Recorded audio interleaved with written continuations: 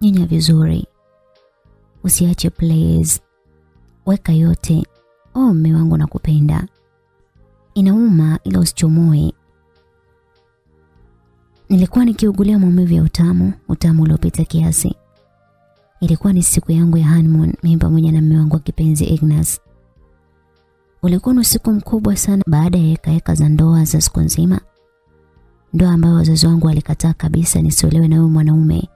Ila nikasema wao ni wakina nani? Siwezi kumwacha Igi, mwanaume handsome mwenye ndizi yake kubwa inayoniridhisha vizuri. Nilitafuta wazazi feki nikawalipa na wakaja kama wazazi wangu siku ya ndoa yangu na sikujali wala nini.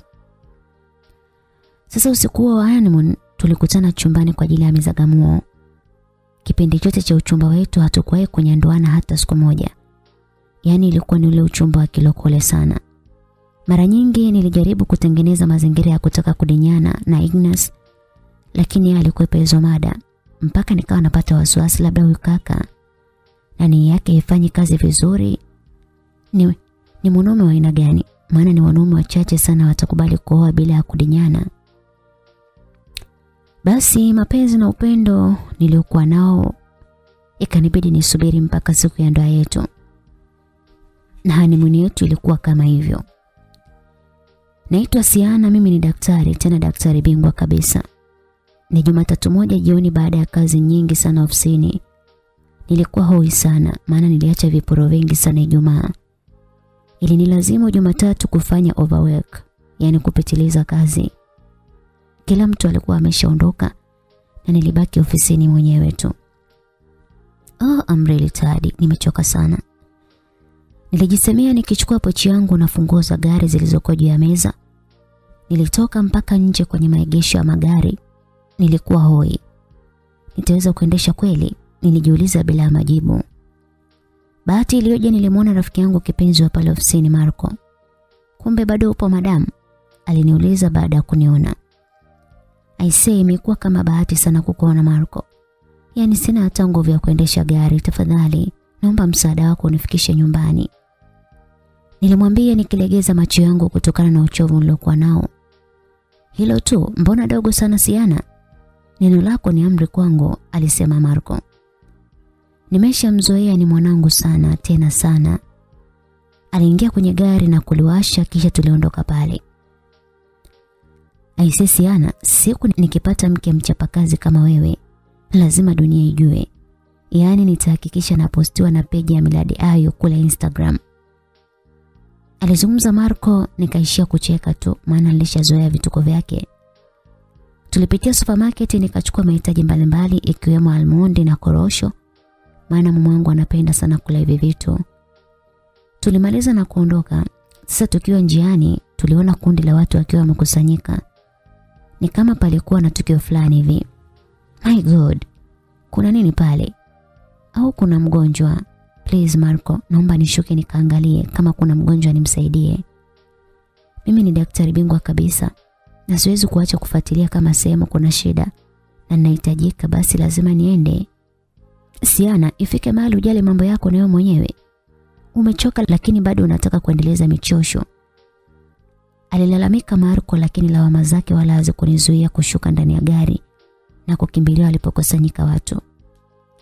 Nilijitahidi kujipenyeza ili nione kilichopo katikati lakini sikuweza kuona chochote. Um, samani kaka, eti kuna nini hapa? Ah, kuna kahaba hapa ameliwa kote kote, alafu analialia wakati alitaka mwenyewe bwana. What? Una maana gani? Kwani tunajua watoto wa mjini hapa atakuwa kakopwa tu ndo kinachomuuma. Yule kijana alisema huku akiondoka akitukana matusi kama yote. Nilishindwa kuvumilia kabisa, niliumbiwa moyo wa dhahabu jamani. Nilisukuma watu mpaka nikafika katikati ya ule mzunguko. Alikuwepo dada mmoja hivi, ni binti tu, makamu ya rika langu mimi. Na alikuwa kafunikwa kitenge tu na alikuwa akitoka damu sana. Kafanyaje huyu jamani? Niliingiwa na huruma sana. Jamani, mnaacha kumsaidia mnampiga picha na kumrekodi video kweli? Hii dunia inaelekea wapi? Niliwafokia sana wale watu walioko pale lakini hawakujali kabisa. Waliendelea kuchukua matukio kwa simu, ilikuwa huzuni sana. Hawa tunawajua watoto wa mjini, kanunuliwa, kaliwa, analia nini sasa? Aliropoka mlevi mwingine. Yule dada alikuwa na hali mbaya sana pale chini. Nilishindwa kuzuia moyo wangu wa dhahabu kumtoa pale. Nilimpigia simu Chapo Marco na kumwomba aje tusaidiane kumbeba tumpatie huduma. Marco alilalamika lakini alikuja pale. Tulimbeba ule dada mpaka kwenye gari yangu na tukaondoka naye. Si ana kesi, unala kujibu in case huyu mtu akifariki hapa. Achana na mambo ya kufariki Marco. Be positive. Huyu ni binadamu, anahitaji huduma ili apone. Sawa, kazi kwako, alijibu Marco. Tulifika nyumbani kwangu na Marco akanisaidia kumwingiza ndani. Tulifika sebleni na kumbe tayari mume wangu alisharudi muda mrefu sana. Na ndoa yetu kwa sasa ilikuwa na miezi mitatu tu. Alipotuona tumemshikilia mgonjwa mikononi, mume wangu alishangaa sana kuona tunakuja na mgeni ambaye yupo hoi na pia ajiwezi kwa lolote na hata fahamu hana vizuri. Tulimpeleka chumba cha wageni na nilianza kumpa huduma ya kwanza kabla hata kuongea na mume wangu Ignasi. Kwa kweli mama wangu ananiogopa mno. Mara nyingi huwa anamjibu vibaya. Yaani mpaka anainama chini na haelewi. Na labda tu ni kwa sababu mimi nilikuwa na mshahara mkubwa kuliko yeye. Licha ya kwamba nampenda sana Ignas. Lakini muda mwingine namuona kama panya mmoja tu, anala kuniambia. Lakini kiukweli nampenda mno. Yule dada alikuwa kabakwa vibaya mno, huku nyuma kuko wazi kabisa. Halafu alikuwa ameingiziwa vipande vya chupa. Na zile chupa zilimchanachana ovyo ovyo. Nilimwita mdada wa kazi tukasaidiana kumpeleka bafuni tukamwogesha na kumrudisha kitandani. Tulisaidiana kumtoa vile vichupa na alikuwa akiugulia maumivu sana. Nilimpaka dawa na kumpatia zingine za maumivu kisha akalala. Oh, Mungu akuponye. Sijui ni nini kimekukuta lakini nimewiwa sana kwa kusaidia tu. Nilijisemea nikimtazama ule mgonjwa kwa huruma sana. Nilirudi sebleni ambapo mume wangu pamoja na Marco walikuwa wakizungumza pale. Yule ni nani? Ni mgonjwa kwani humuoni alivyo? Nilimpa Ignasi jibu moja tu naye akashiba kabisa. Mume wangu aliinama chini na hakutia neno lingine tena. Nimeona nimsaidie, alafu kesho nitampeleka hospitali. Maana hakuwa na msaada usiku huo. Nilisema tena ambapo Igi hakuongea chochote tena. Ukimya ulitanda kabisa. That is nice, but usipende kusaidia watu usiowajua kwa kuwaleta nyumbani kwako. Ni hatari sana mke wangu, maana siku hizi dunia imeharibika, alizungumza Ignas. Nimewaelewa jamani, yaishe basi. Nilimjibu mme wangu mpaka Marko alijisikia aibu kutokana na majibu yangu ya hovyo. Labda tu kwa kuwa sikufunzwa na mama kabla ya ndoa. Muda huo dada wa kazi alituita kwa ajili ya chakula. Tulienda tukapata chakula na Marco alituaga akaondoka zake. Tulienda chumbani kwa ajili ya kulala na mme wangu. Na siku hiyo ilikuwa kwenye ratiba yetu. Ilitakiwa tupeane utamu. Ignas, nimechoka sana. Mume wangu alikuwa na hamu sana lakini mimi nilikuwa hoi. Siwezi Igi. Yaani najisikia vibaya. Naomba uniache nilale please. Nina kazi nyingi sana kesho.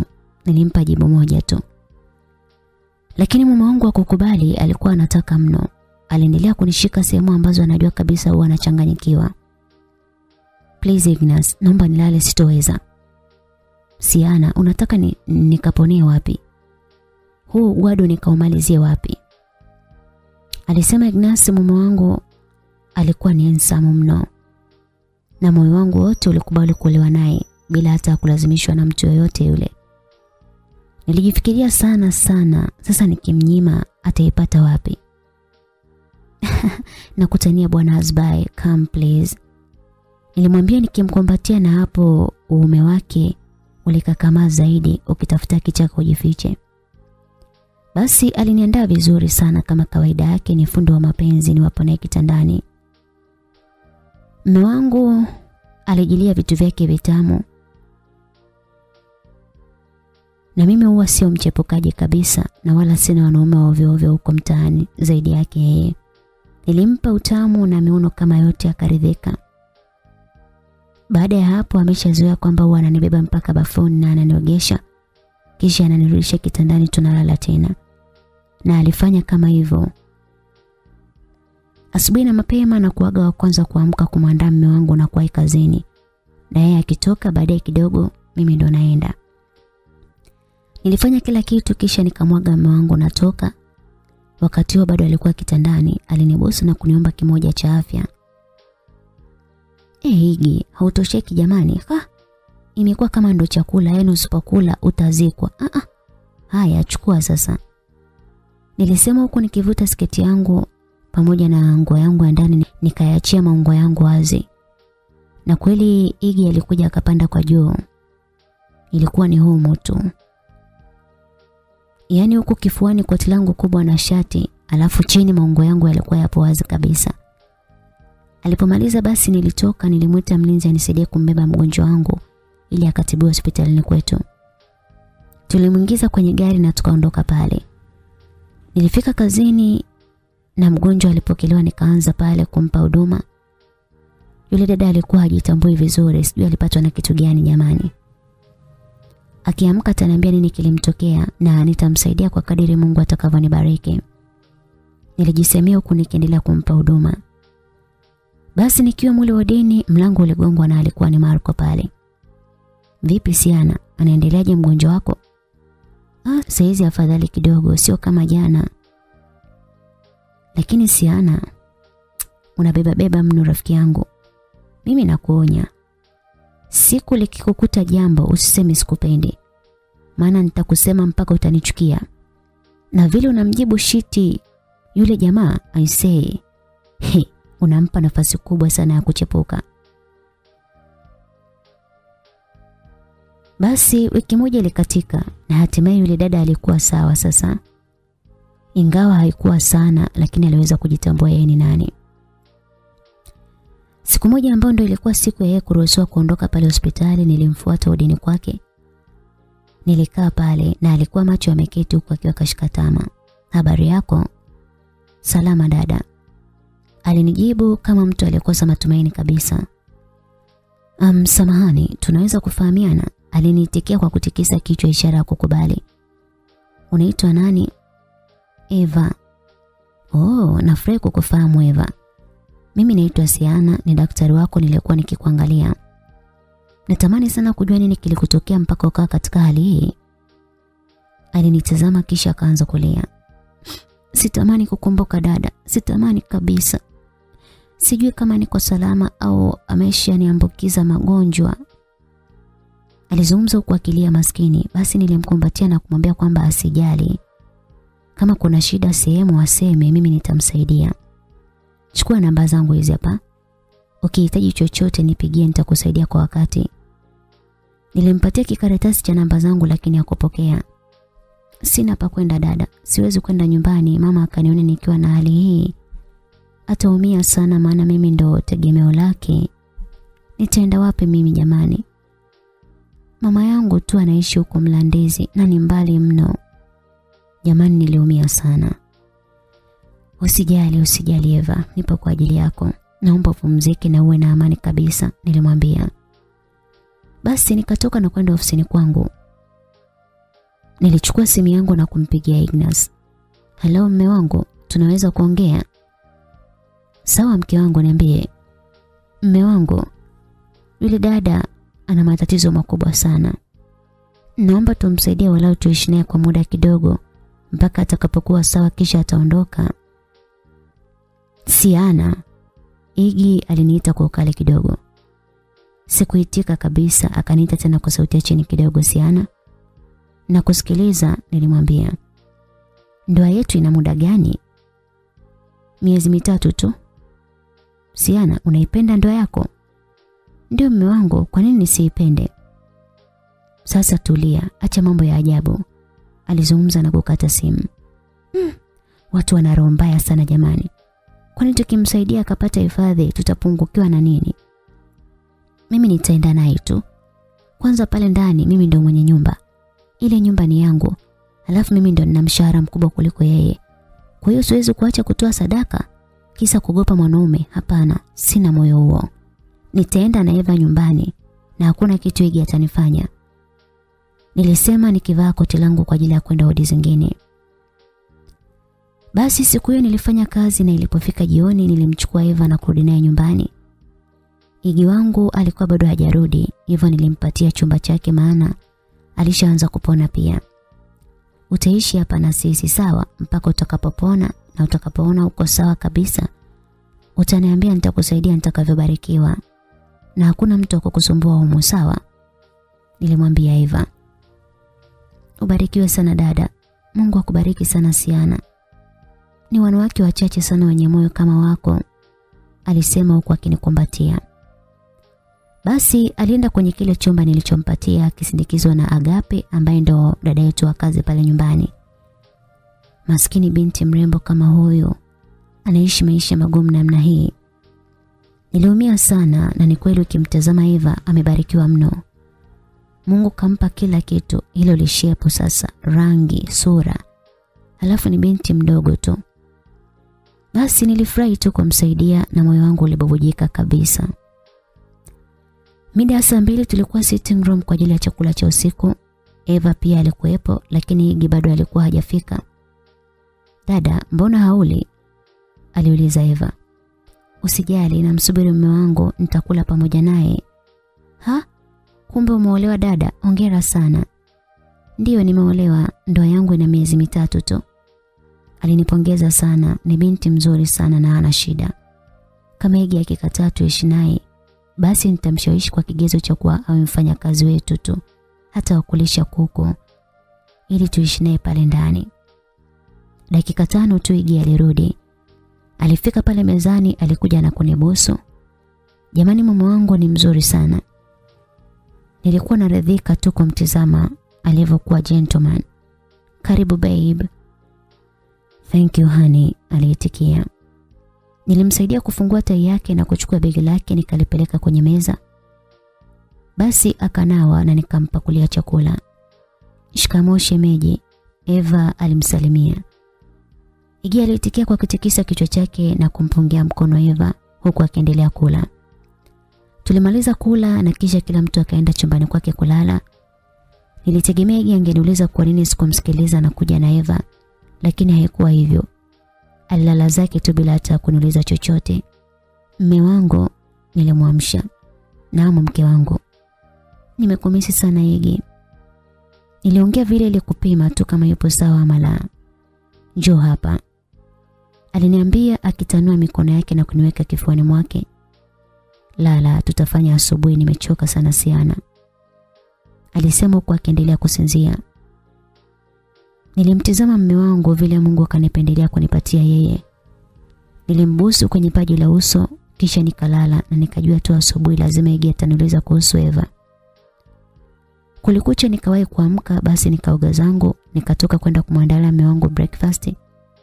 Ile nafika tu jikoni na mkuta Eva yuko bize na mapishi. Nilipomwona tu sikumshtua kwanza na alikuwa hajaniona pia. Nilimtazama binti ule kwa umakini sana na ndipo nilipomgundua ya kwamba Eva ni mrembo mno. Yaani ni mrembo kunizidi hata mimi. Kuanzia sura, shepo, rangi yake, mashallah, alikuwa ni mzuri mno. Eva, mbona unajitesa hivyo na hujapona vizuri? Nilimuuliza na alishtuka kidogo maana hakutegemea uwepo wangu pale. Hapana dada, napenda sana kufanya kazi yani sana. Nimeona niamke niwapikia mkate mtamu sana. Na kweli alikuwa anatoa mkate kwenye oven. Mm. Asante. Kiukweli Eva alikuwa mpishi mzuri sana. Nilishangaa kidogo, anyway, ni vitu vya kawaida tu kuvijua. Basi nikamwambia akimaliza aje anigongee ili nichukue kwa ajili ya mme wangu. Nilirudi chumbani kujiandaa kwa ajili ya kwenda zangu kazini. Mume wangu Igi bado alikuwa kalala tu. Leo nina kikao na madaktari wenzangu. Inanibidi kuwahi sana kuondoka. Ilikuwa ni saa moja na robo na kikao kingeanza saa moja na nusu. Say, nimechelewa sana. Igi, Igi, nilimwamsha. Kuna nini Siana? Mume wangu, amka ujiandae usichelewe kazini. mimi natoka, utanyosha nguo zako ama au basi ngoja nimuombe Eva akunyoshe. Mimi natoka na wahi kikao. Nilimwambia kisha nikachukua funguo za gari na kuondoka. Na hapo sikuacha chochote kwa ajili ya Egi kwenda kazini. Sikuandaa nguo wala sikumwandalia breakfast. Nilipita sebleni ambako Eva alikuwa akingojea maziwa yachemke vizuri. Sasa mpenzi, naomba utanisaidia kumpa shemeji yako chai na nguo zake mbili tu atakupatia umnyoshee. Sawa dada. Okay, bye. Niliondoka nilimwachia Eva majukumu yangu kwa mume wangu. Huku nyumbani Eva anamaliza kuandaa mkate, akauwekea kila kitu cha umuhimu ikiwemo siagi pamoja na jam. Kisha akaweka katika sahani. Aliweka maziwa freshi ya moto na viungo vingine vya chai. Natumaini shemeji ataipenda hii. Alisema Eva akiinua sinia na kuelekea kilipo chumba cha Siana na mume wake. Wakati Eva akiandaa chai alikuwa kavalia dera refu kabisa. Hakuna mtu aliyejua kama alikuwa amevaa kiskini pamoja na singlet ndani. Wakati akipeleka chai alitoa lile dera na kulitupa. Kisha akabakia na singlet pamoja na kiskini chake pale. Alifika mpaka mlangoni katika chumba cha Siana na mumewe. Ngongo ngongo ngongo. Nani? Ignasi aliuliza maana alishajua kwamba mke wake ametoka. Ni mimi Shem, we hauna jina ama? Ni Eva Shem. Unasemaje? Nimeleta chai shemeji. Okay, Peter, alisema Igi. Basi Eva aliingia ndani na kukuta bado Igi yupo kitandani na shuka akijinyoosha. Shikamoo shemeji. Maraba. Igi aliitika akiwa bado hajamwangalia Eva. Utakunywa saizi chai? Yeah, soon after nikimaliza kuoga. Igi alijibu huku akigeuza mgongo wake kumtizama Eva. We dada, ndio umevaje hiyo nguo? Mbona imekubana namna hiyo? Hauna adabu we. Unanijia ukiwa hivyo una maana gani? Unanijia chumbani kwangu bila ya nguo? Igi alizungumza kwa hasira huku akiinuka na kumfuata Eva pale alipo. Samani shemeji, toka nje. Toka nje. Nilijua tu hauna nia njema hapa ndani. Ondoka. Igi alimtimua Eva kwa kumsukumia nje ya chumba chake. Hauna adabu kabisa. Igi alizungumza na kubamiza mlango kwa nguvu. Mpuzi kweli huyu binti. Kwa hiyo kaja kunitega ama mimi nilimwambia Siama aache tabia ya kuokota watu lakini hasikii.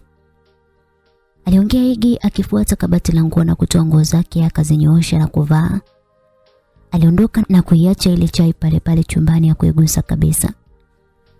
Agape, samahani, kaangalia kama Shemu amekunywa chai. Nilimpelekea chumbani akasema kwamba Agape, samahani. Kaangalia kama shemeji amekunywa chai, nilimpelekea chumbani. Alisema Eva akimwomba dada wa kazi pale ndani akaangalia kama ile chai imetumika ama la.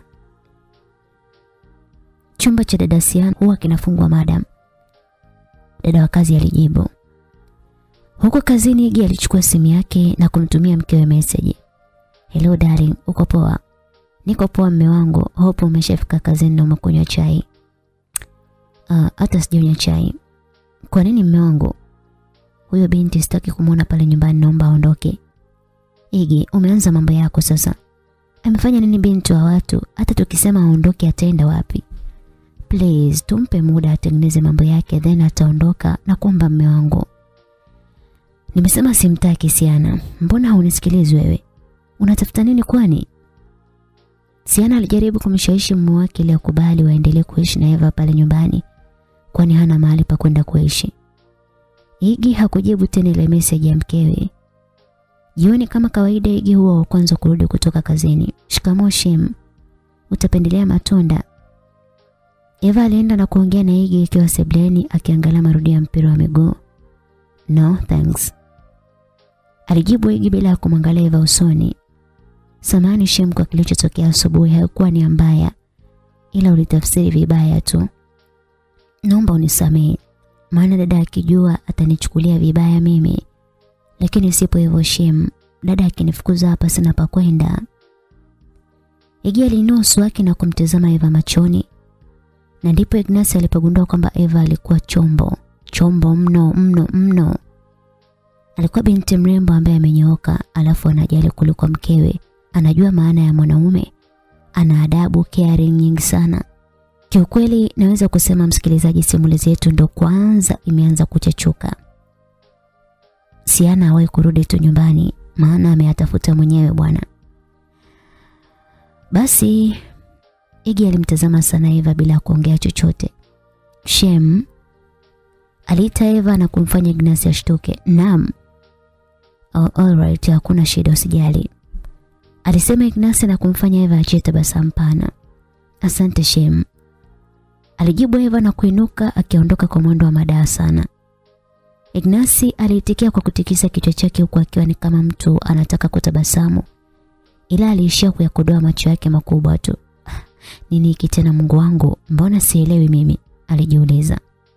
Shetani, tafadhali sana, naomba upite mbali kabisa. Sitaki majaribio yako shetani. Nina mke na nampenda sana tena sana please. Naomba usiniharibie ndoa yangu shetani. Siana akija kauli yangu ni ile ile. Nitamsisitiza amuonde huyu binti hapa ndani. Sitaki kumwona kabisa. Alisema Igi akibadilisha channel katika television. Mida ilikuwa imeshasonga na ilikuwa ni saa tatu kasoro, lakini bado Siana alikuwa hajafika nyumbani kwake.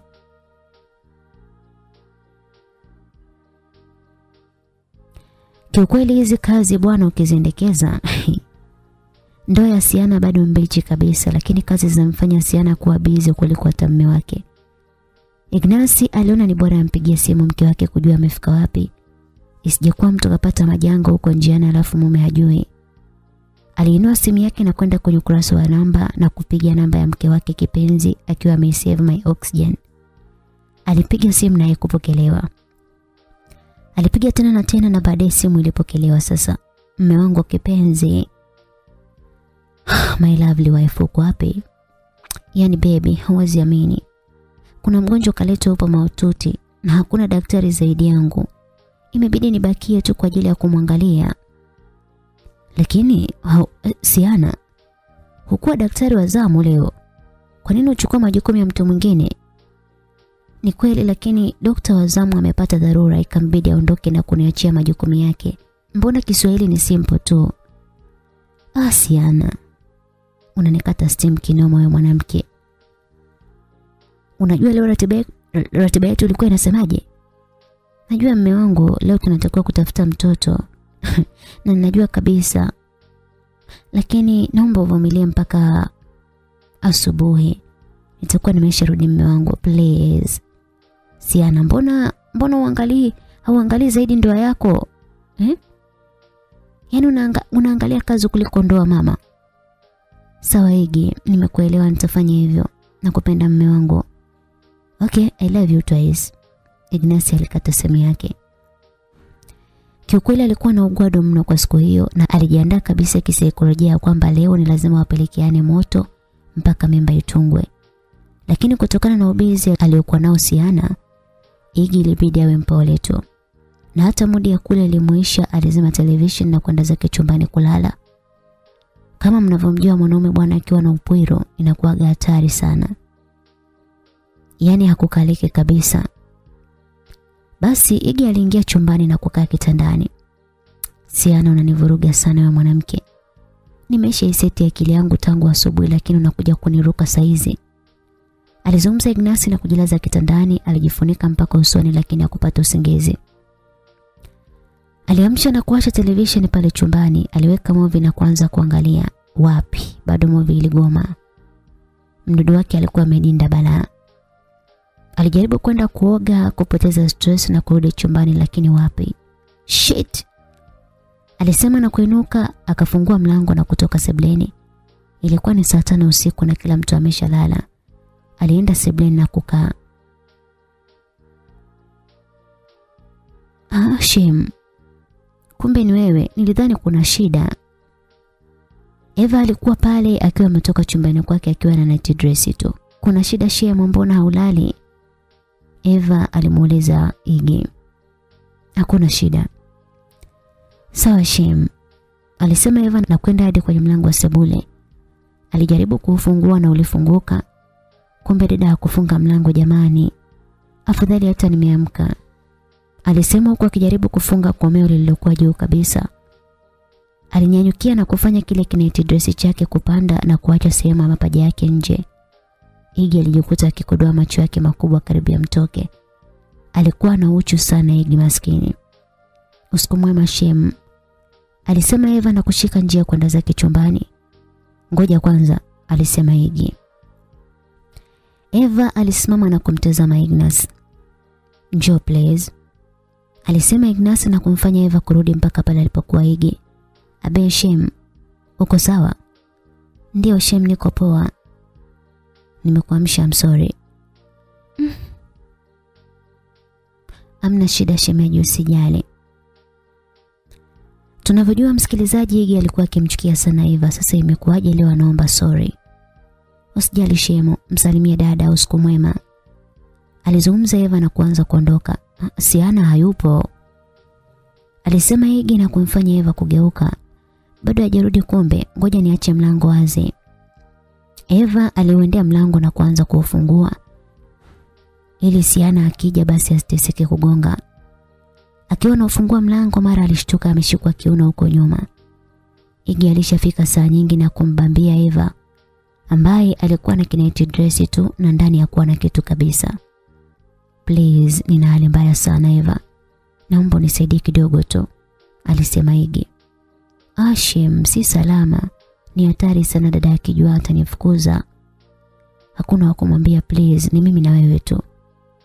Utanipa nini Shem? Chochote utakachokipenda. Alisema Igi akiuvamia mdomo wa Eva ambaye alikuwa na lipsi nene na nzuri. Walianza kupeana romance pale pale sebeni huko Eva akitoa milio ya kuugulia ya chini chini na kumfanya dada wa kazi asisikie na kuamka kabisa. Higi alinogewa akamunua Eva na kumpeleka chumbani kwake. Shemu kwa hapana ni hatari sana. Bora chumbani kwangu, alisema Eva. Usijali, Siana haji leo, atalala kazini kwake. Ah, shemeji jamani. Umewaza nini lakini? Alisema Eva kwa sauti tamu ya mahaba. Lakini Ignacia kujibu kitu, zaidi alifika chumbani na kumtupia Eva kitandani. Alienda kufungua kabati na kutoa kondom kisha akavaa. Kwani hauniamini? Hapana na kuamini ila kwa usalama wetu zaidi, alisema Igi. No, siwezi kufanya na kondom please, alikataa Eva. Okay. Igi aliinuka na kwenda kuchukua kabegi kadogo kisha akatoa vipimo viwili vya kupima afya. Naomba tupime please, alisema Igi. No, siwezi. Alisema Eva na kuinuka kutoka kuondoka. Please Eva, una shida gani? Kubali tu kwa usalama wa afya yako na yangu. Mwisho Eva alikubali kupima afya na kusema yeye hawezi kufanya mapenzi na kondom maana hatosikia utamu wa penzi. Igi alipima na wote walikuwa salama na hapo sasa ndipo uhuru ulipowazidia. Ah, Shem, kumbe wewe ni mtamu hivi.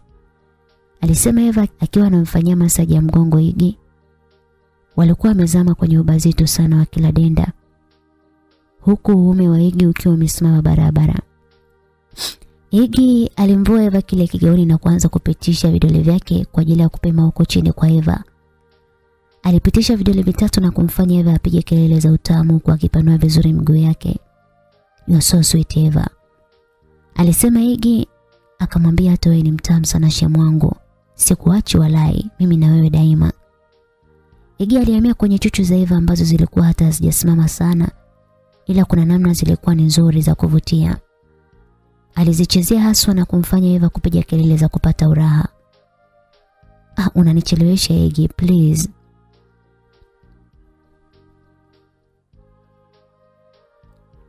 Basi walijikuta wakivunja amri ya sita pale katika kitanda cha bibi Siana na mme wake.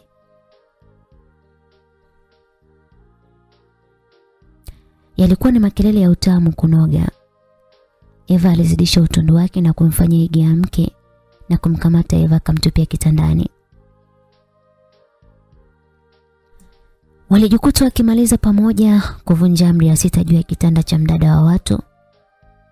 Igi alijikuta amepiga mzigo balaa. Hakujali kuhusu madhara ambayo angetokea Yeye aliwaza ugwadu wake tu uishe.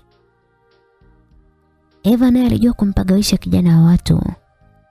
Alimwachia miuno feni na kumfanya Ignasi azidi kuchanganyikiwa zaidi.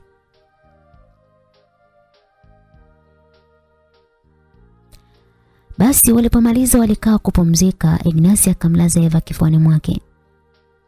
Umejifunzia wapi utundo mkubwa namna hii? Hamna shemu, si unajua tena ujana unatufunza mambo mengi. Mbona umenipagawisha sana Eva? Dhumuni lako ni nini mamangu? Hapana shemu, sina dhumuni lolote lile, maana sikujua kama ile lingetokea pia. Kwa penzi hili unadhani naweza kukuacha kirahisi? Eva alitabasamu, aliinama chini kwa aibu na kupenda. Alisema Ignasi na kumbusu Eva kwenye paji la uso. Mimi pia shem. Naomba tukaoge. Basi waliinuka sasa, ilikuwa ni saa saba hiyo usiku, wakaelekea bafuni ndani ya chumba hicho wakaanza kuoga. Eva alianza kumwogesha Ignasi na kuendeleza mautundi yake yale yale. Walijikuta wakiendeleza walipoishia kule chumbani. Waliyafanya madudu yao tena wakiwa bafuni. Basi walifanya yao kwa Ignasi akiahidi kwamba hatakuja kumwacha kamwe Eva. Walimaliza wakaoga na kurudi chumbani. How do you feel babe? Aliuliza Eva kwa akichezea ndevu za Ignas kwa mahaba sana. Ah, more than good. Sikujua kama wewe ni mswiti namna hii Eva. Ningejua mapema wala nisingeleta pingamizi juu ya uwepo wako hapa. Namshukuru sana Siana ameniletea huduma karibu. Kwa kweli ilikuwa ni usiku basi walilala huko Igi akiwa ameweka alam saa kumi na moja amwamshe Eva ili arudi chumbani kwake. Eva alilala juu ya kifua cha Ignas kwa usiku mzima. Kiukweli nimeamini ni bora umfadhili mbuzi utamla mchuzi. Binadamu wana maudhi jamani. Saa kumi na moja mapema sana waliamka wakapigana chaham cha asubuhi kisha wakaenda zao kuoga. Walimaliza kuoga wakavaa na kila mtu baada ya pale walitawanyika. Eva aliondoka huku akiwa ameahidiana kwamba hawawezi kuachana kabisa na wameshaanza ukurasa mpya wa mapenzi yao. Basi azikupita hata dakika nne mlango ulifunguliwa na Siana alirudi nyumbani. Alipitiliza moja kwa moja chumbani kwake ambapo bado Ignasi alikuwa amejifunika kutokana na uchovu wa show ya usiku mzima. Babe, I'm back. Alizungumza Siana huku akitupa mkoba wake kitandani na kuanza kuvua mkoti aliokuwa nao. Ignasi hata kugeuka. Na kwa nini ageuke maana alishatoa hamu zake zote? Siana alipitiliza bafuni kuoga. Babe, umeshaoga? Kweli mume wangu na amna mke wako kipenzi. Ngoja basi nioge nije nikupe utamu babangu. Alisema Siana asijue nini kilichotokea huko chumbani kwake na huko bafuni. Alioga haraka eti kwamba anamwa Ignasi ili asije kukata moto kwa ugwado. Alijipigilia kikanga chake chepesi na kwenda kitandani moja kwa moja. Mme wangu, niko hapa, amka basi unifaidi, sasa nimerudi. Ignasi ndo kwanza alikuwa anakoroma. Baby, are you okay? Sijisikii vizuri mke wangu. Alizungumza Ignasi akiwa kayafumba macho yake. Unaumwa mume wangu? Nadhani siko sawa kabisa. Oh, sorry baby wangu. But please let's do it. Kidogo tu nina hamu sana na wewe. Nimekuwaza kwa siku mzima huko nilikokuwa. Not today baby. Akili yangu haiko sawa kabisa. Alisema Ignasi akimsogeza Siana kifuani kwake na kumlaza. Ilibidi Siana awe mpole tu, hata hivyo alikuwa na usingizi sana kutokana na majukumu ya kazi. Alijikuta akipitiwa na usingizi mzito na kulala fofofo. Mida ya saa mbili Ignasi aliamka na kwenda zake sebuleni. Hakumwona Eva, nadhani Eva alikuwa akikoroma huko chumbani kwake kutokana na shughuli nzito ya usiku. Alikaa zake na baadaye dada wa kazi aliwaita watoto kwa ajili ya kupata breakfast. Siana pia alikuwa kashaamka na kwenda sableni Baby, umeamka saa ngapi jamani hata hujaniamsha? Alilalamika Siana. Niliona upumzike tu bebi wangu, alijibu Igi. Okay, naona vitu vinanukia kweli jamani, nina njaa sana. Alisema Siano kuwa kifungua hotpot za vyakula bila hata ya kunawa mikono yake. Come on baby. Please sit down ndo tuanze kula. Si ndio mke wangu? Ignasi alimkatisha mkewe ambaye licha usomi wake alikuwa hanaga adabu ya mezani kabisa. Chakula kikitengwa mezani huwa anaanzaga na kudokoa huko na kule kuonjaonja kwenye motopoti mara ile mara lile akilifunua kabla hata ya kuombea chakula wala kunawa. Hii ni tabia moja chafu sana. Tubadilike wanawake se. Unaweza ukaachika tu kwa ya vitu vidogo kama hivi. Siana aliachia mfuniko wa hotpot kwa aibu kwa kijichekesha chekesha tu. Okay, Agape, ombea chakula. Alisema Ignace akimwomba hausgeli wao aombe kwa ajili ya chakula. Baba wa mbinguni, bariki chakula hiki kikaneemeshe mwili pamoja na roho zetu, amina. Kila mmoja aliitikia amina. Mbona mgeni wetu hayupo mezani? aliuliza Igi. Ah, Igi wangu. Nafurahi kwa kuwa umemkubali huyu dada na mpaka sasa unahitaji tuwepo naye mezani kwa ajili ya kufurahia chakula pamoja. Nakupenda sana mme wangu. Wewe ni mwema sana. Alisema Siana akiinuka na kwenda kwa kumbusu Igi shavuni. Ya, wageni ni baraka. Alijibu Igi. Muda huo gapi aliinuka na kwenda chumbani kwa Eva ambaye alikuwa hoi kwa usingizi mzito. Gongongo. Dada Eva aliita Agape. Um, nani? Eva aliitika kwa sauti ya kichovu iliyoambatana na usingizi mzito sana. Ni mimi Agape, naomba uamke kula. Dada na shemeji wanakusubiri. Aya, nitakuja, sijisikii vizuri sana napumzika kwanza, alijibu. Saa dada Agape. Aliitika na kuondoka mahali pale. Ehe, yuko wapi? aliuliza Ignasi. Amesema ajisikie vizuri ataamka baadaye kwa sasa anaomba apumzike kidogo. Sasa alitakiwa kuwa hapa ili atuambie shida nini jamani, mke wangu. Hauna kosea. Upo sahihi mume wangu. Lakini tumuache ni mtu mzima, akiamka atatuambia shida nini. Alijibu Siana huku akibogia pande la yai lililokaangwa vema. Walikunywa chai lakini kwa upande wa Ignasi hakuwa na furaha kabisa baada ya kumkosea Eva pale mezani. Vipi mbona hauli? Aliuliza Siana baada ya kuona mkate unakaukia kwenye mikono ya mume wetu Ah, nimepoteza update mapema sana, sijui nitakuwa naumwa. Pole mme wangu, nenda ukapumzike basi. Ignasi aliinuka na kwenda chumbani kwao kupumzika maana ilikuwa ni weekend. Huko chumbani Eva aliamka na kukaa kitandani. Ah, mwanaume rejali sana huyo. Yaani pamoja na utundu wangu wote, lakini amejua kunipa maumivu ya kiuno na mgongo. Ah, moto wake hauoteki kabisa. Huu moto siwezi kuuacha ukapotea. Lazima niishi nao tu. Eh, niishi naye Igi. Igi ni wangu. Wanasema survive for the fittest. Eh? Aliinuka na kwenda kuoga zake akawa vizuri, alitafuta kigaoni cha kubanabana akavaa, akajiweka sawa kabisa, akasimama mbele akiona kujitazama. Alijigeuza huku na huko kujiangalia. Yote hayo ni ili tu akitoka huko nje, Ignasi akimuona azidi kuchanganyikiwa naye. Aliufuata mlango akaufungua na kutoka zake. Alifika kwanza mezani na kuanza kunywa chai. Ah, ulai nilikuwa na njaa nzito mno. Alisema huku akibogea mapande ya mikate na mayai. Alimaliza kula na kutoa vyombo akaenda zake jikoni. Alifika na kuanza kuosha vyombo kwa kiimba zake nyimbo za kusifu na kuabudu. Kwa upande wa Eva ni binti mwenye maadili sana. Yaani alikuwa ni binti wa kanisani mno. Ila kuna mazingira fulani yalimlazimisha kuwa hivyo alivyo. Kuna historia mbaya nyuma yake lakini licha yeye hajawahi kuacha kumwita Mungu popote penye ugomo na shida. Alimaliza kuosha vyombo vyake na muda huo Agape alikuwa amesharudi kutoka huko sokoni kununua vitu. Vipi Agape? Shikamoo dada Eva. Maraba. Sasa leo utapumzika, mimi nitashika jiko na kukusaidia kupika. We, unasema kweli dada? Ndiyo namaanisha kabisa. Wow, asante sana dada. Afadhali sasa jamani nikaonane na mchumba wangu Mapua. Nina siku nyingi sana sijaonana naye, alisema Agape. Eva aliishia kucheka tu. Eh, niambie Agape, hivi shemeji Ignasi anapendelea kula chakula gani? aliuliza Eva. Um, anapendelea sana ugali na mbozi wa kuchoma bila ya kusahau kachumbari na pilipili kwa sana.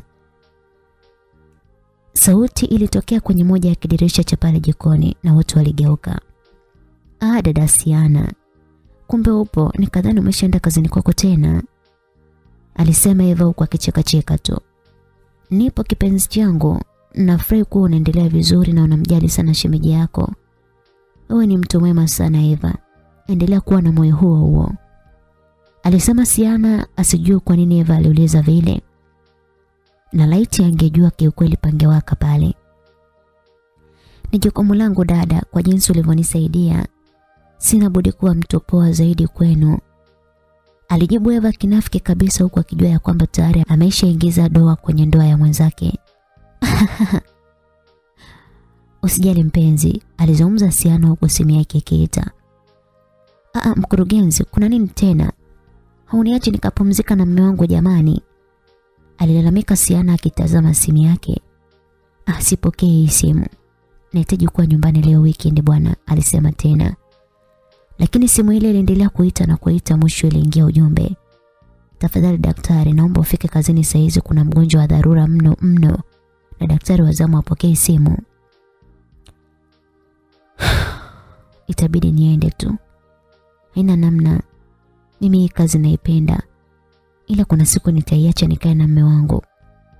Alisema huku akielekea chumbani kwao kujiandaa kwa ajili ya kutoka. Yes. Kawajibike mama nenda. Eva alijikuta akiropoka mbele ya Agape. Mbona umefurahi dada? Agape aliuliza maana hakuelewa imekuwaje kuondoka kwa Siana iwe furaha kwa Eva. Hamna, basi tu. Napenda sana dada anavyowajibika. Yaani anafanya kazi kwa bidii sana, alisema Eva kujitetea. Lakini Agape sio mtoto ni mtu mzima yule. Alimtazama Eva kwa jicho la kuuliza sana. Na vipi mbona leo umevaa kama unataka kwenda outi? Eh wewe kwa hiyo nisipendeze jamani. Eva alijibu kwa kukasirika sana. Basi samani nimeuliza tu. Alizungumza Agape akielekea lilipo friji. Dakika kumi baadaye Siana alipita akiwa na pochi mkononi. Aliwaga kwamba anatoka na atarudi baadaye wabaki salama. Sawa dada usijali, tutailinda nyumba yako, alijibu Eva. Basi Eva alifanya kila kitu kwa siku hiyo, akifuata maelekezo yote aliyopewa na Siana ya kwamba Bwana Ignas anapenda sana mbuzi choma. Alimwagiza Agape sokoni akaenda kuleta mbuzi pamoja na viungo vingi sana. Kwenye mapishi huyu binti ni kiboko kabisa. Aliipika hiyo mbuzi nyumba zima ikatanda harufu ya nyama tu. Yaani mpaka ignasi alitoka chumbani alikokuwa kwa ajili ya harufu ya nyama ya mbuzi tu. Please naombeni nyama jamani niko pale sitting room. Alizungumza Ignace akielekea kukaa na hakujua jikoni yupo Eva. Basi Eva alifurahi sana alipakua nyama nyingi na kuweka limau pamoja na pilipili. Alijiweka sawa na kwenda sitting room kupeleka chakula kwa mume wa mtu. Alifika na kuanza kuona aibu aibu. Wao umependeza sana Eva. Asante. Alijibu Eva akila kidole chake akijisikia aibu pale. Ignasi alisimama na kumbusu Eva kwenye paji la uso. Thank you. Alijibu na kuondoka akijibenua mithili ya mwanakondoo mwenye shepo. Alifika jikoni akaendelea na mapishi yake yote. Huko kazini sasa Siana alifika na kukuta kuna mgonjwa aliyekuwa amezidiwa sana.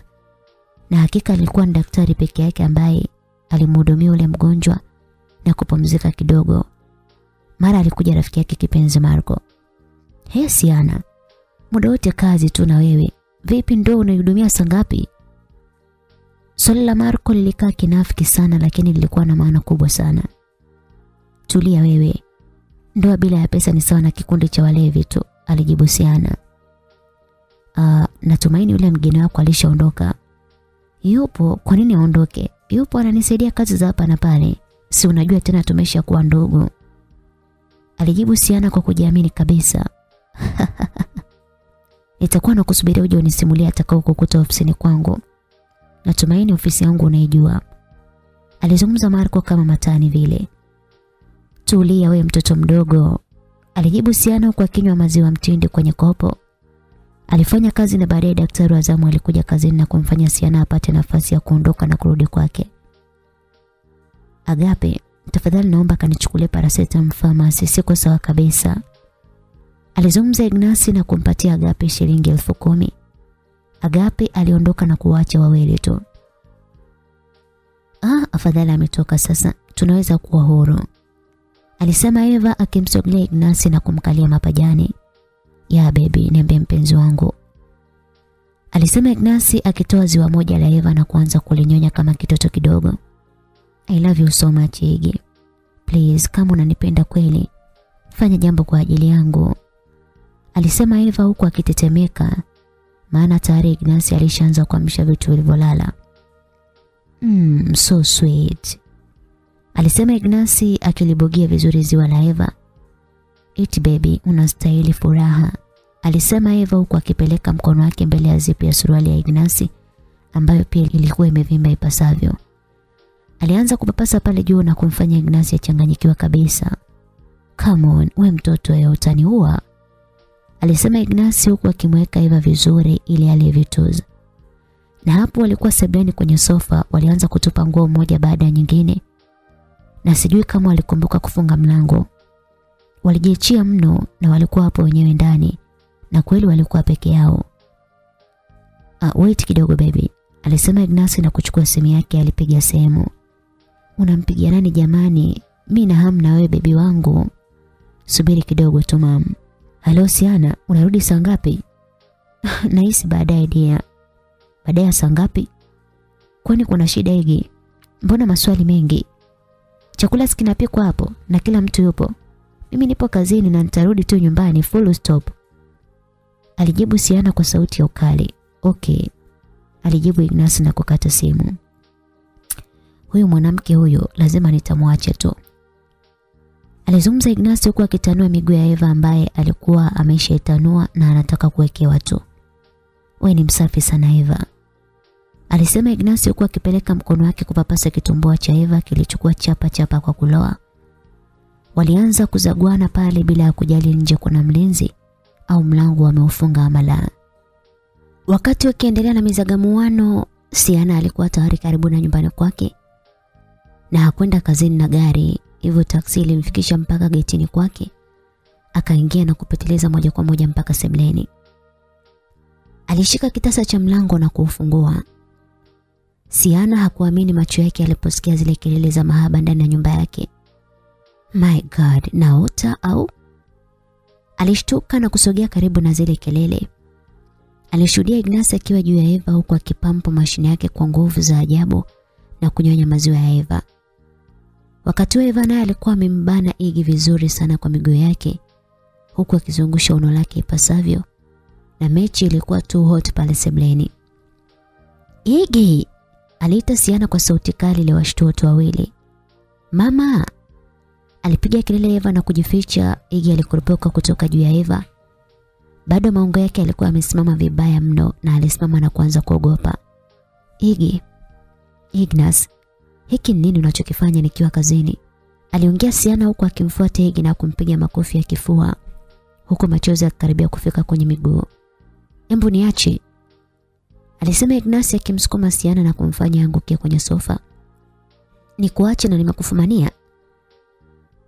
Igi alichukua nguo ya ndani ya Eva na kuufuta uume wake. Kisha akachukua boksi yake na kuivaa. Alionyesha kutokujali kabisa. Igi unanidharau mimi? Alilia sana. Mwanamke mjinga ataivunja ndoa yake kwa mikono yake mwenyewe. Na yule mjinga ndo wewe hapo. Alizungumza Ignasi akimtazama Siana. Hapo Eva alishaingia chini ya kochi kitambo akiwa amejificha. Sikukooa ili unifulie wala unipikie. Nilitaka mahali pa kulaza uume wangu usiku kucha. Lakini sijapata. Unadhani kila mtu ataninyima kama unavyofanya? Ukichezea fursa, wenzako wanaichangamkia. Alizungumza Ignasi bila kujali chochote kile. Utanipa talaka yangu Igi. Siwezi kuwa na mwanaume mzinzi, alizungumza Siana akilia sana. Lakini Ignasi alitembea na kwenda zake kwenye television akakaa. Igi, naongea na wewe, alifoka Siana. Muda huo Agape alikuwa ndo anaingia akampatia Ignasi dawa na kumpa maji. Alikunywa dawa na kujilaza kwenye sofa huku akiwasha television. Siana alilia sana, alienda chumbani kwake na kujifungua. Please come out. Unaogopa nini kwani? Ignasi alizungumza akimwambia Eva ambaye karibia ajinyee kwa uoga. Siwezi kubaki hapa ndani, natakiwa kuondoka. Wewe uende wapi? Hapa atatoka Siana na sio wewe. Relax, upo kwa ajili yangu. Kaoge uvae upumzike. Alisema Ignasi bila kujali chochote. Alimtupia Eva taulo na akajifunga kisha akatimua mbio kwenda chumbani kwake. Masaa alisonga mpaka kufikia jioni pale ndani hapakuwa na amani kabisa. Siana hakutoka chumbani kwake wala Ignasi akwenda chumbani kumwangalia mkewe. Mida ya saa mbili usiku walipokea ugeni ambayo Ignasi hakuutegemea kabisa. Karibuni sana. Alizungumza Ignasi maana alimkuta sebleni. Alikuwa ni mshenga bestimani wa kiume na wa kike ambao walisimamia ndoa yao. Karibuni, alisema Ignasi bila ya uoga wowote. Tunashukuru sana. Walikaa na vinywaji vikaletwa pale. Siana alitoka chumbani akiwa amevimba macho. Bila shaka alikuwa akilia. Alikaa na sasa kikao kilianza rasmi. Tumepokea taarifa kwa mkeo akilalamika kwamba haumheshimu na unamvunjia heshima na hauheshimu ndoa yako ni kweli? Mshenga alimuuliza Igi. Ni kweli kabisa. Kwa nini unafanya hivyo? Um, kwa sababu mke wangu hataki kunipa uchi. Na mimi sikumoa ili aje kunifulia na kudeki ndani. Sasa siwezi kufa na, na ugwado wakati kuna nyuhi nyingi tu sana huko mtaani. Alijibu Ignasi kwa kujiamini sana. Ni ya kweli haya Siana? Waliuliza lakini alishia kulia tu na kusingizia kwamba kazi zinambana sana. Kwani huwa unalala kazini? Sometimes. He he he. Wewe mwanamke, umeolewa miezi miwili tu ushaanza kulala kazini. Haya ni maajabu haya. Haya, muombe mumeo msamaha na usirudie tena. Ikiwezekana hiyo kazi iache kabisa. Alizungumza mshenga kwa kumfokea Siana. Siana alipiga magoti mbele ya Ignasi na kuanza kulia akiomba msamaha kwamba hatarudia tena kuwa mjinga kwa sababu ya kazi. Naomba unisamehe mme wangu. Ninaapa sitorudia kuchezea hisia zako. Alilia sana Siana na kujutia kumpotezea mumewe pale anapokuwa akimhitaji kitandani. Nimekusamehe.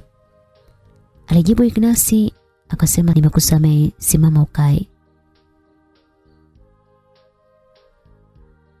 Muda Agape alikuwa ameshaandaa chakula cha usiku na walikaribishwa mezani. Wageni pamoja na ile familia walienda mezani kupata chakula lakini Eva hakuwepo. Mwita dada Eva pia alizungumza Ignasi. Agape alienda kumwita Eva ambaye aligoma kuja akisema kwamba hayuko sawa. Matumaini yangu kwamba mtabakia kuwa na amani kama tulivyoongea, alisema mshenga. Kabisa, tutaishi vizuri sana kama zamani, alidakia Siana. Basi walimaliza kula na wale wageni waliaga na kuondoka.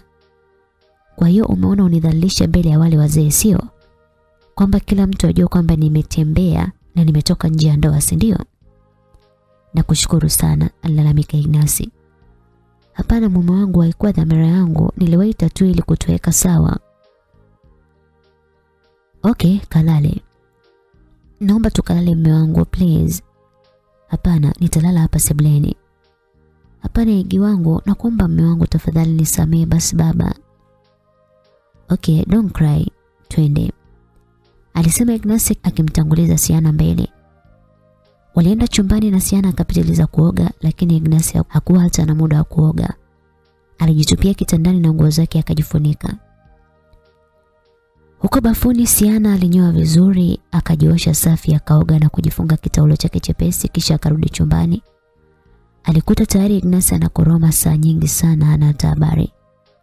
Alisogea kwenye kabati lake akajipulizia marashi ya kuogea kisha akasogea kitandani. Alitoa shuka na kumkalia Ignasi kwa juu. Nini bwana mimi nimechoka. Alisema Ignasi kwa sauti ya kichovu sana. Please mme wangu, naomba unipe haki yangu. Hapana, siku nyingine nitakupa. Please Igi. Alizungumza Siana akifungua zipu ya Ignasi pale mbele ya zipu na kuyatoa maungo yake nje. Lakini bado Ignasi alikuwa kayafumba macho yake na hakuwa na muda kabisa na mkewe. Siana alimchezea lakini ilisimama vizuri kabisa. Aliiweka mdomoni na kuanza kufanya mambo yake pale. na alisahau kwamba Ignasi ya kuoga tangu alipomfumania mchana alipokuwa akifanya mapenzi na Eva. Taratibu Ignasi alianza kusukuma mashine yake ikiwa mdomoni mwa Siana. Alifanya hivyo mpaka alifumbua macho yake. Na muda huo Siana alikuwa ameshatupata ulo lake akiwa ipo wazi kabisa. Alimvua Ignasi ile jinsi na kumtoa shati lakini Ignasi hata akushughulika hata kumwandaa mkeo wala chochote. Siana alijaribu kumgeuza mumewe ili angalau basi ampe ushirikiano lakini wapi. Hakupata ushirikiano kabisa. Aliamua kuikalia kwa juu. Alianza kujishughulikia mwenyewe na alikuwa akijipimia tu hapo. Alifanya hivyo lakini mwenzake hakuwa na ushirikiano kabisa. Ignasi alikuwa na hasira mno. Alikuwa akifanya kitendo kile kama vile anachimba madini. Na akaona hiyo haitoshi, akamweka Siana chini na kumwinua miguu yake juu. Ikafika mpaka kwenye uso wa Siana. Kiukweli alikuwa akifanya vile kwa ajili ya kumkomoa watu Siana alilia mno akiomba kuachiwa, akisema kwamba anaumia na kupiga mayoe. Lakini Ignasi alihakikisha mpaka mtu anatetemeka kama jenereta ndipo akamwacha. Ignasi alikuwa akiema mno kama ponda. Da, wewe mwanamke wewe. Alisema kwa nguvu sana huku akichukua mtu anashuka na kutoka ndani ya chumba kile. Siana hakuwa kabisa na hali pale kitandani. Alijivuta na kuchukua dawa za maumivu akanywa na kulala zake. Asubuhi na mapema Ignasi alijiandaa na kuondoka akatoka zake na hakuaga mtu yoyote yule. Eva aliamka na kwenda kukaa sebleni, aliwaza nini ambalo litakalomkuta kutoka kwa Siana. Alikaa akiwa na mashaka sana. Agape aliandaa chai na kwenda kumwita Siana. Alirudi na kukaa sitting room huku Eva naye bila hata ya aibu akikaa mezani kwa ajili ya chai. Siana alikuja akiwa anachechemea kaketi pale mezani. Dada, samahani, kuna ujumbe wako hapa, Shemu amesema nikupatie. Alisema Agape akitoa kikaratasi mfukoni. Umesoma? Hapana dada, siwezi kufanya hivyo. Alijibu Agape na Siana alichukua ile karatasi na kuanza kuisoma. Eva asigusu kwa lolote, kama unataka ndoa fuata amri zangu, Ignas. Siana aliposoma ule ujumbe alitokwa na machozi mengi sana ya huzuni. Pole sana dada, haya yote yatapita. Alisema Agape akimfuta Siana machozi. Eva alikuwa zake bize, alipakua chai na vitafunwa na kuanza kula.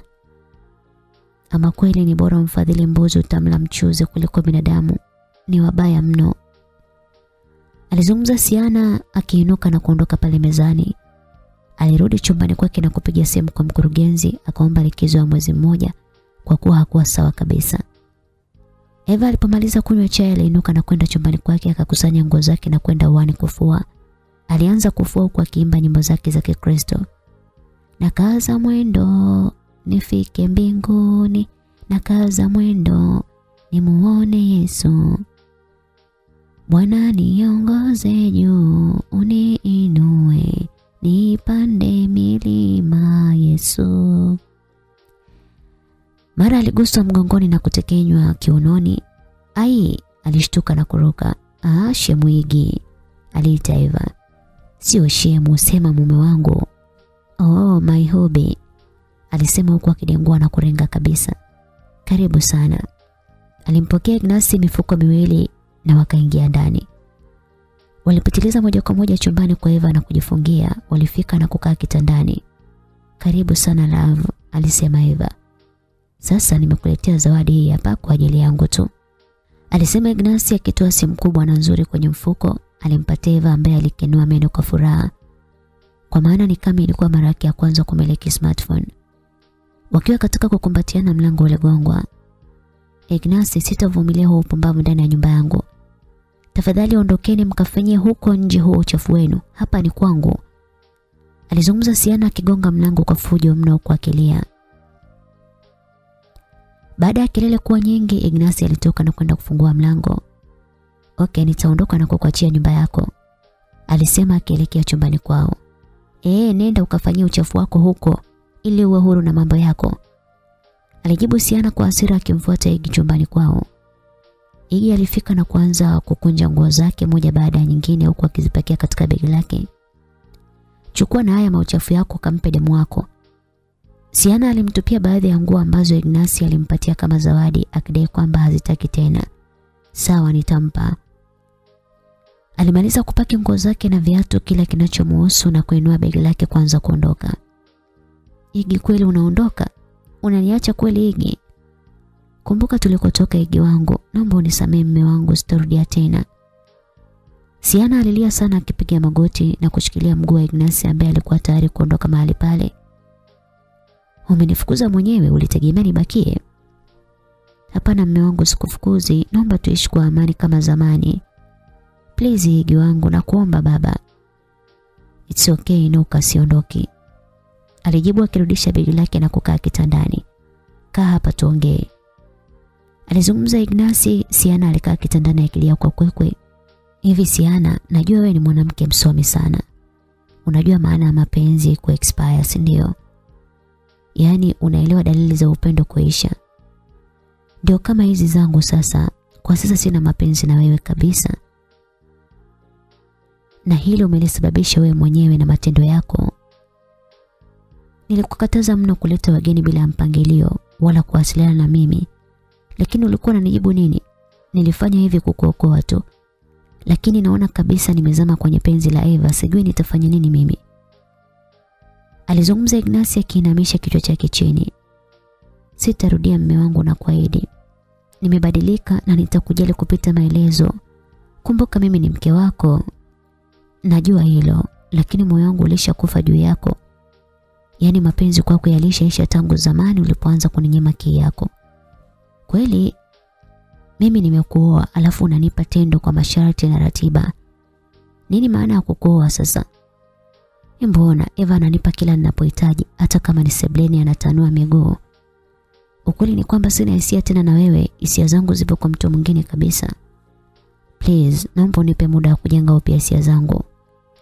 Alisema Ignasi na kumtaka Siana asifanye chochote kibaya juu ya Eva. Atulie tu kwa maana mume wake anajua nini anafanya. Sawa mume wangu nimekuelewa. Okay, naomba unaendelea chakula. Alisema Ignasi na kumfanya Siana akainuka na kwenda jikoni.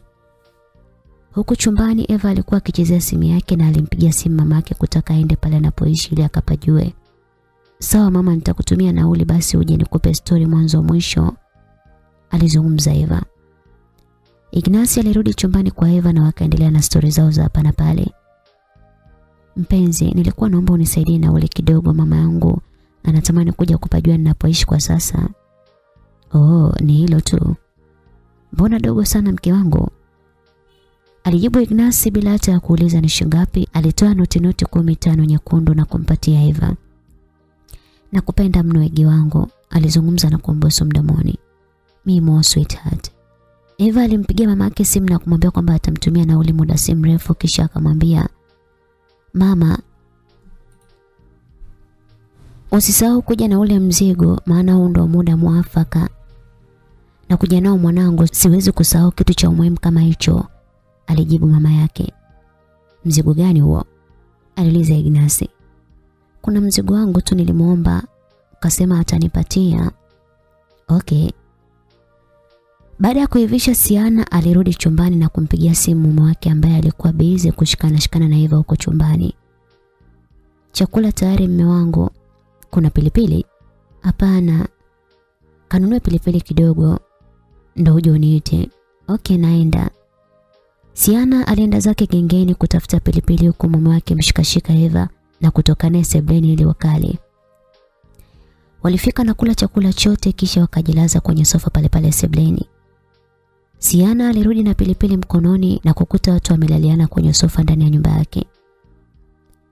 Siana alipowaona alishindwa kabisa kuvumilia. Alienda kuwasha gari lake na kuondoka. Aliendesha kwa hasira mno, njia nzima alikuwa akilia tu kwa uchungu mkubwa. Ina maana kufanya kazi kwa bidii malipo yake ndo haya. Kumsaidia kote Ignasi kutoka kwenye umaskini uliokithiri, haya ndo malipo yangu. Alilia sana Siana alikumbuka siku ambayo alienda kumtambulisha Ignasi kwao. Siku hiyo baba yake na mama yake wote kwa pamoja alikataa kata kata binti yao kuolewa na ule mwanaume. Hapana jamani, nampenda mno na siwezi kuishi bila yeye. Kwa hiyo mwanangu, kati ya sisi na huyo ni yupi uwezo kuishi bila yeye? Mama yake alimuuliza. Siwezi kuishi bila ya penzi la Ignasi mama. Samahani sana mtanisamee. Alisema Siana na kumpakia Ignasi kwenye gari yake wakaondoka. Na tangu siku hiyo Siana hakuwahi kuwasiliana na wazazi wake wala kurudi kijijini kwao kuwatembelea wazazi wake.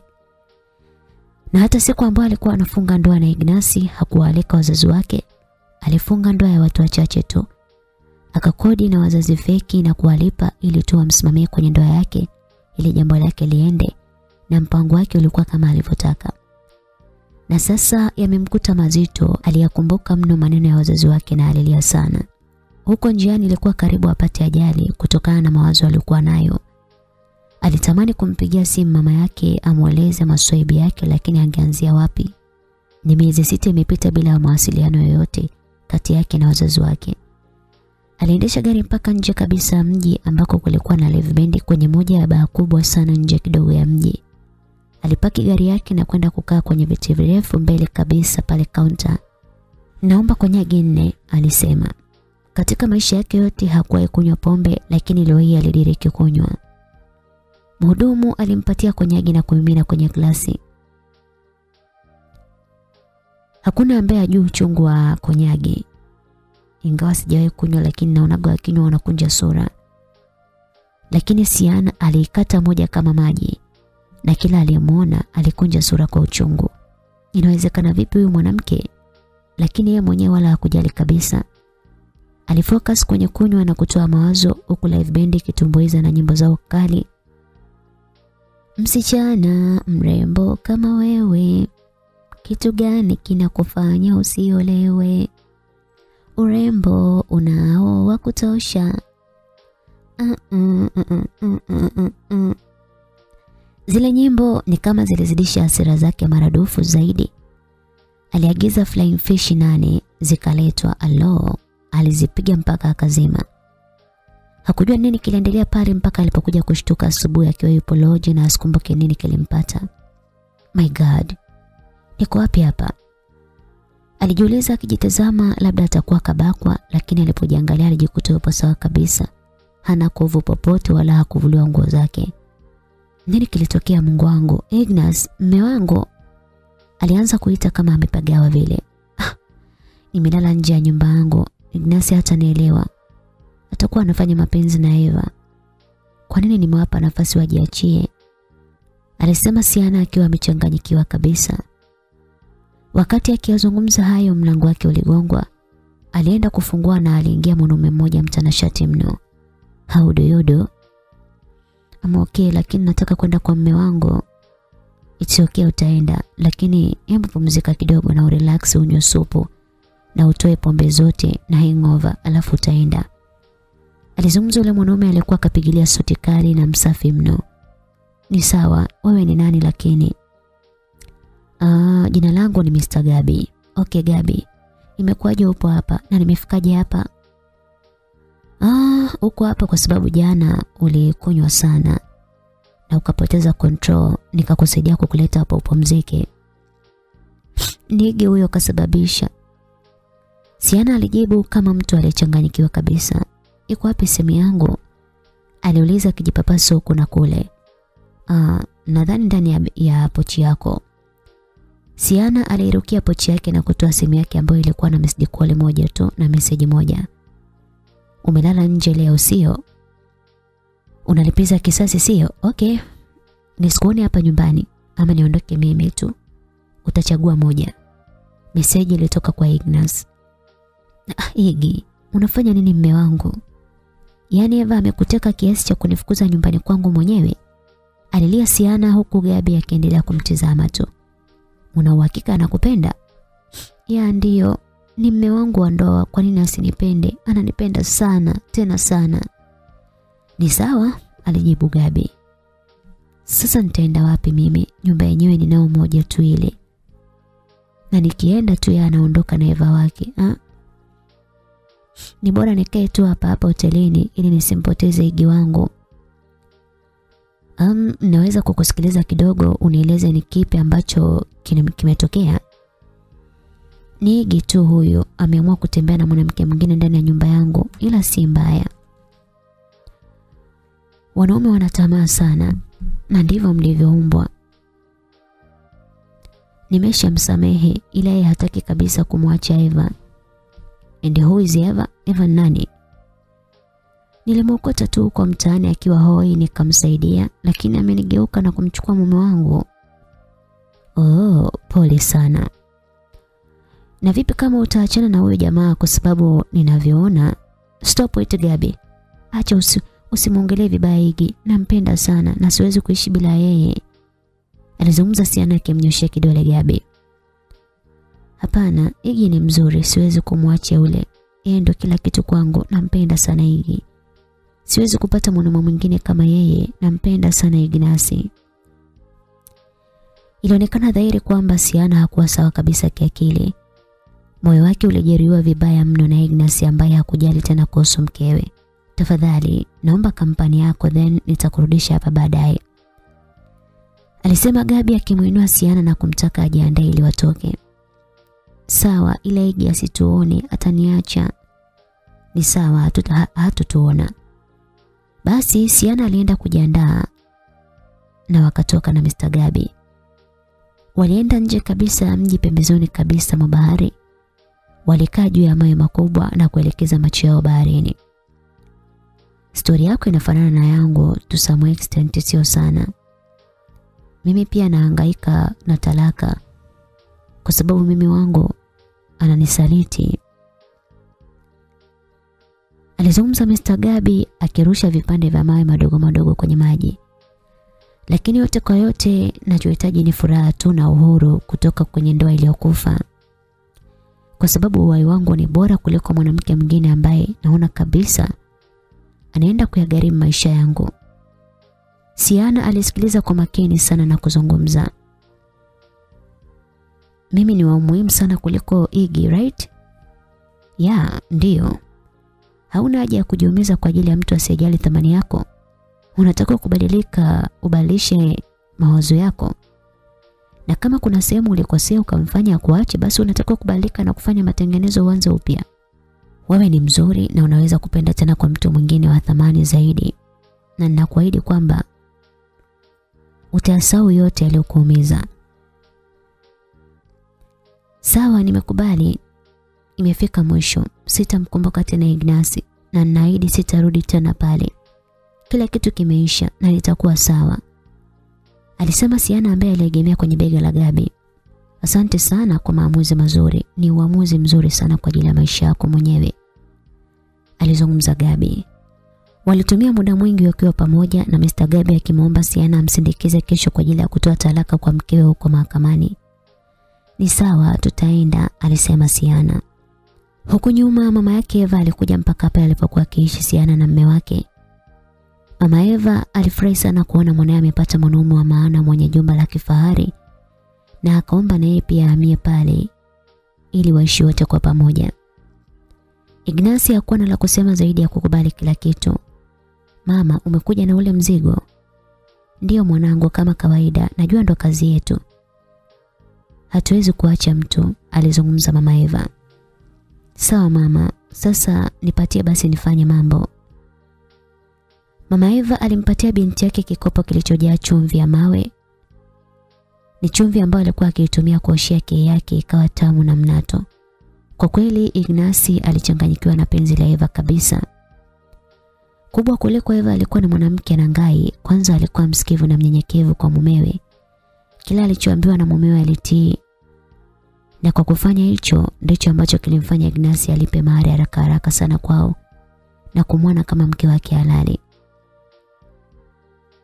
Ndani ya mwezi mmoja kila kitu kilikuwa sawa na Eva akawa mama mjengo wa pale ndani huku Agapa akiendelea kuwa house wao. Siku ya honeymoon yao Ignacia aliamua kuvunja ukimya na kumuliza Eva nini ambacho kilimpata mpaka akakutwa na Siana katika ile hali. Alimwambia kwamba ni ex wake alimfanyia mafia tu na njama. Akamwagizia vijana wakamteka na kwenda kumfunga sehemu. Ex wake akambaka na kumfanyia vitendo vibaya kabisa. Kisha alipoona mpoteza fahamu akaenda kumtuva barabarani. lakini yote kwa yote alisema kwamba amemsamehe bure, maana kisasi ni cha Bwana. Walirudi nyumbani kwao na Ignace akasema kwamba anataka waame pale kwa maana ile sio nyumba yake, ni nyumba ya Siana. Sawa mume wangu, kama utakavyo. Eva alijua kumtii na kumsikiliza mmewe. Na walikuwa wakishiriki tendo kila siku kutokana na utamu wa kei yake ambao ulikuwa ukinogeshwa na maji ya chumvi ya mawe. Mwezi na nusu ulikatika Siana akiwa anaishi hotelini huku akipata nasaa mbalimbali kutoka kwa mmoja wa mwanasaikolojia mkubwa sana hapa nchini. Aliendelea kupona na kuzidisha urafiki na Mr. Gabe ambaye alikuwa ni mkurugenzi wa makampuni yanayohusiana na tiba nchini. Baada ya kufanikiwa kuachana na mkeo ambaye walikuwa akisumbuana sana, alizidisha mazoea na Siana ambaye aliamua kumove on na maisha yake na kuahidi kwamba angebadilika na kama angepata mtu sahihi kwenye maisha yake basi angeishi naye kwa adabu na utii. Siku moja Siana na Mr. Gabi wakiwa auti wikendi moja huko hoteli ya Vede Zanzibar waliamua kutumia muda kwa ajili ya kuongelea ishu ya maisha. Siana, unajua ni mrembo sana. Mr. Gabi alianzisha uchokozi wake pale. Kama wewe vile ulivyo handsome la dunia nzima. Na ni kweli Mr. Gabi alikuwa ni janaume fulani hivi miraba minne limejazia mwili mzima. Alikuwa na mwili mzuri wa mazoezi, ukimtazama tu ilikuwa hauishi yamu kabisa. Alafu alikuwa ni mweupe pee, alikuwa msafi sana. Siana alijikuta amebadilika kabisa baada ya kuachwa tu na kusambaratisha moyo wake. Akaamua kuchachuka, akawa mtiifu sana. Um, ni vipi kama ukawa mama wa wanangu Siana? Unajua kwamba tangu siku ya kwanza nilipokuona pale nilikupenda mno. Unastahili furaha na unapendeza kwa mke wangu, tafadhali. Tunaweza kufanya hivyo? Alizungumza Mr. Gabi kwa sauti nzito ya kiume na ya mamlaka. Siana aliangalia chini kwa aibu. Unadhani mimi sikupendi? Kule umenitoa, unadhani hukunivutia kuwa na wewe? Yaani tangu siku ya kwanza nilipokuona tu nikaamini kwamba wewe ni mume wangu na natakiwa kuwa na wewe. Nakupenda mno Gabi, tafadhali naomba usiuvunje moyo wangu tena mara ya pili. Alizungumza Siana akimtazama Gabi. Wewe ni rafiki yangu bora sana, my best friend. Na siku zote nilimwomba Mungu anipatie mke ambaye ni best friend wangu na nimekupata. Kwa nini ni, ni, ni, ni uvunje moyo wa, wa, wa mpenzi wangu? Nitakuwa mpozi zaidi ya Ignas. Siwezi kufanya hivyo. Nakupenda na nitakulinda. Haijalishi nini kwa sababu nakupenda sana msichana. Alizungumza Gabi na kumkumbatia Siana ambaye alianza kulia upya ni kama alitoneshwa kidonda chake cha miezi miwili iliyopita. Nipo tayari kufanya hivi. Alizungumza Siana akimjibu Gabi. Na alikuwa tayari muda wote Gabi amuoe. Asante mpenzi. Alizungumza Gabi akimkumbatia Siana na kumbusu mdomoni. Kiukweli mapenzi huanza kama utani vile. Ndani ya miezi miwili Siana alinenepa na kuwa kibonge haswa. Alimwomba Gabi amsindikize kwao ili akazungumza na wazazi wake vizuri na wamsamehe na aanze upya. Gabi alikubali na walienda mpaka kijijini kwao. Mama yake Siana alipomwona tu mwanae alilia sana na kwenda kumkumbatia. Wewe ni mtoto wangu, siwezi kukutupa na kushukuru umerudi tena nyumbani na umetukumbuka mwanangu. Ilikuwa ni furaha sana kurejea tena nyumbani. Siana alimtambulisha Gabi kama mchumba wake na wazazi hawakutia neno hata moja la kupinga. Tunawabariki mkafanikiwe katika mambo yote na Mungu awe wa kwanza. Walifurahi mno. Gabi na Siana walienda na zawadi kama zote, yaani gari zilikuwa mbili. Moja ya Siana ilipakia zawadi na nyingine ya Gabi ilibeba mizawadi pia. Walifanya mpaka kasherehe kadogo pale nyumbani, walikaa siku tatu tu. Na Gabi alimuomba Siana akamtambulishe kwao. Walirudi mjini na wakaenda airport kukata tiketi za kwenda Washington DC. Ina maana wazazi wako hapo Washington. Naam. Hata mimi pia naishi huko. Nilikuja tu Tanzania kushughulikia talaka mke wangu wa zamani na nina furaha kwamba imekamilika.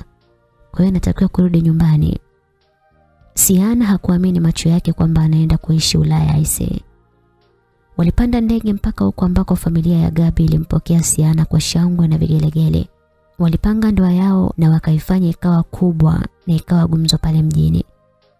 Magazeti yaliandika, taarifa zilisomwa na kila sehemu stori zilikuwa ni ndoa ya Gabi na Siana. Baada ya ndoa, wazazi wa Siana waliomba kurudishwa Tanzania wakavune mahindi yao, kwa maana hawawezi kuishi Ulaya wakati kule kijijini wameacha ndama akiwa ananyonya na mama yake hana wa kumchungia. Ilikuwa ni bonge la sherehe kiukweli. Huko Tanzania ignasi alienda mpaka kijijini kwa kina Siana na kuwapatia wazazi wake ufunguo wa nyumba ya Siana na kuwashukuru kwa muda mchache ambao aliishi na binti yao pia. Na kwa sasa ana furaha na ndoa yake na Eva wake na wanaishi raha mustarehe. Siana na Gabi wana watoto watatu mpaka sasa na wote ni madume. Huku Ignasi akiwa na watoto wake wawili wenye furaha na afya tele. Funzo katika simulizi hii msikilizaji ni kwamba hakikisha unaoa au kuolewa na chaguo la moyo wako, sio kuoa au kuolewa na mtu kwa kumwonea huruma. Hapana, wanasema love matter. Eh? Naam msikilizaji, na huu ndo mwisho wa simulizi yetu nzuri iliyokuwa ikienda kwa jina la Siana. Mtunzi na mwandishi wa simulizi hii si mwingine bali ni Brianna Stories. Anapatikana kwa nambari 062589 3518. Asanteni kwa kuwa nami kuanzia mwanzo wa simulizi mpaka mwisho. Niwatakie usikivu mwema wa simulizi nyingine nyingi na nzuri ndani ya Simulizi Mix Channel na bye bye.